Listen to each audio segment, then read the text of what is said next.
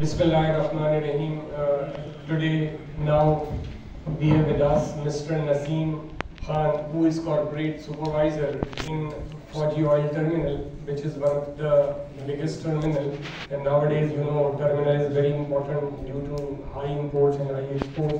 So let's hear from him कि आज का प्रोग्राम जो कंपनी जो रेगुलेशन 2024 के ऊपर और इजी फाइलिंग के के न्यू सॉफ्टवेयर के ऊपर है कैसा इन्होंने पाया एक्सेल को और इस प्रोग्राम को let's hear is good news अस्सलाम ये जो आसिफ साहब का बहुत शुक्रिया अदा करता हूँ जिन्होंने ये प्रोग्राम मैनेज किया है।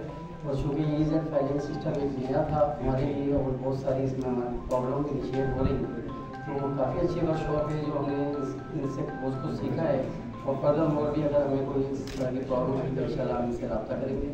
और इससे रिक्वेस्ट करते हैं इस तरह के प्रोग्राम मैनेज करें ताकि आने वालों को मज़ीद मसाइल से जो है दो चार ना हो सके।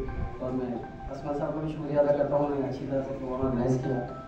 बाकी थैंक यू बेस्ट होना चाहिए